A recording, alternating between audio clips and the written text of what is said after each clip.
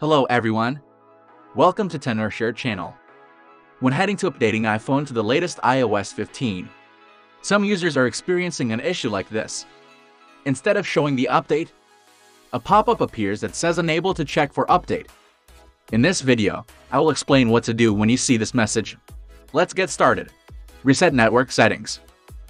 Step 1. In settings, go to General, Reset, then Reset network settings.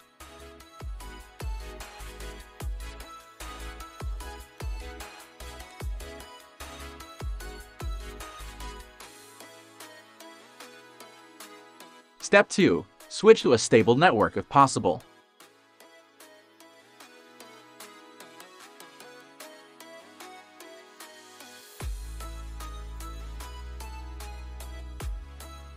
Step 3. Go to apps using wireless LAN and cellular. Then make sure you have allowed settings to use data.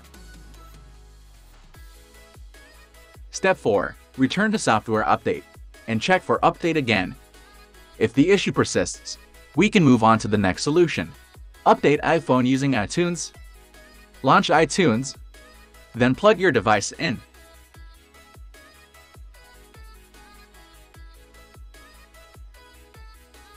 Once detected, click on the device icon. Then proceed to click the Check for Update button. It's saying that iTunes will update your iPhone to iOS 15. Click Update to confirm.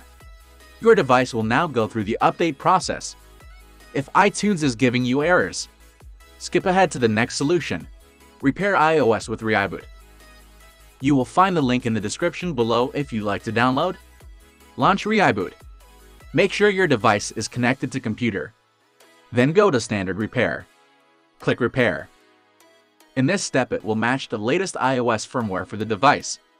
Click Download to proceed. Once downloaded, we can start the repair. A progress bar will reflect the entire process. Make sure to keep the device connected.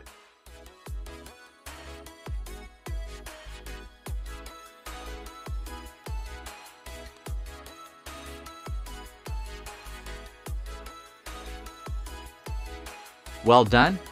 Now you can see the new Hello screen. And on the iPhone About page, you can see the software version is now updated to iOS 15. You can now change to the new iPhone wallpaper if you like and enjoy all the other new features. That's it. Thanks for watching. See you in the next video.